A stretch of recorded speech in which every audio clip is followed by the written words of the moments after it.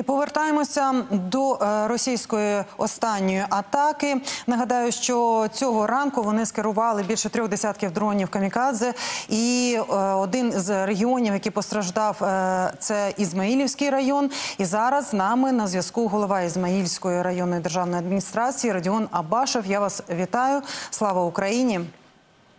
Доброго дня, героям слава. Отже, окупанти атакували припортову інфраструктуру Одещини саме в Ізмаїльському районі. Не обійшлося без жертв. Розкажіть нам, які наслідки на зараз, скільки людей постраждало? Ну на станом на, на, на зараз постраждало два дві людини, знаходяться в лікарні, їм надають необхідну медичну допомогу. Щодо руйнувань, що зруйновано, чи вже ви е, взялися оцінювати збитки? Чи можна про це говорити? Ну зараз зараз працює комісія, яка якраз розглядає збитки. Е, Що відомо, е, є влучання в портову інфраструктуру.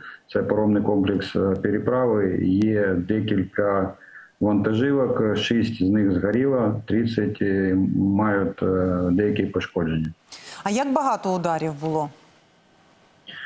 Ну поки що їх повністю не порахували, десь е, 3-4 були.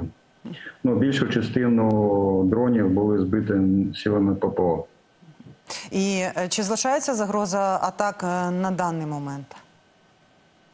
Ну, це відбувається вночі, тому в день це не відбувається, тому що їх е, добре видно і вони в день не летають.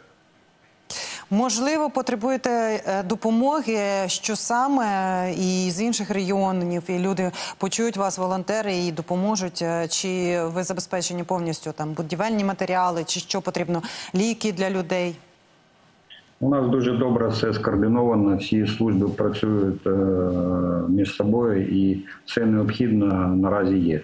Тобто ні- ніякі допомоги зараз не потрібно додаткової. Пане Родіоне, я дякую вам за те, що ви змогли до нас доєднатися і за ваші відповіді. Це був Радіон Абашев, голова Ізмаїльської районної державної адміністрації.